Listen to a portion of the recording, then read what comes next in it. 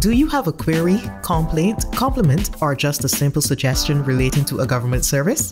If you do, then the Citizen Services Contact Center, or CSCC, is here for you. What is it?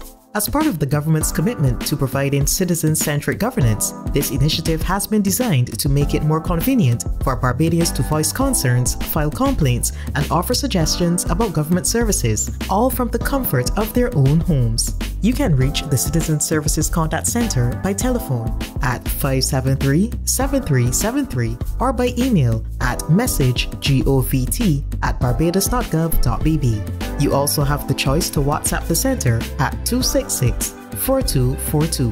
The CSCC operates between the hours of 7 a.m. and 9 p.m., Monday to Saturday. Again, the CSCC contacts are 573-7373 for calls, message govt at barbados.gov.bb for emails, and 266-4242 for WhatsApp.